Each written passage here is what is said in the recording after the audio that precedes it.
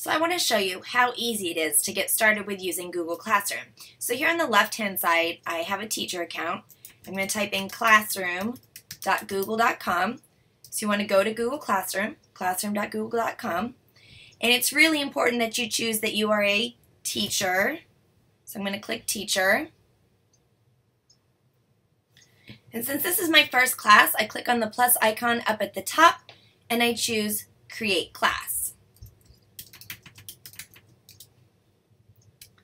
And it's creating the class. And then what I want to do is I just want to list, it gives me a little tutorial, I just want to list what I want students to do. So I'm going to click on the plus icon in the bottom right hand corner and I click create assignment. And so I always number all of my assignments. Number 001, warm up is on the board. And I can say uh, do the warm up on the board on a piece of paper and click assign. So that's how easy it is for me to post assignments to Google Classroom. And then I want to click here on the Students tab. And, it, and so I want to click on the little drop down arrow here. I like to reset my code until it's not ugly. I don't like O's or L's. Uh, some, something a little more decent. It has zero in it. I don't like that. Uh, this has an eye. I don't like that one either. Oh, geez.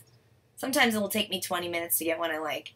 Um, this almost looks like the word bus, so I'll go ahead and go with that one maybe. So as a student, I just give this code, this class code, to the students. And so over here on the right hand side, you'll notice that I have a student account, and the students are going to do plus join class, and the code is 336BU6. They just type it in, and they are in the class and the student is then able to see the assignment. This is what they're supposed to do. If you'd like, you can have them click on the open button. The student clicks on the open button and the student can mark it as done. And so that they have completed that task even though it was not digital.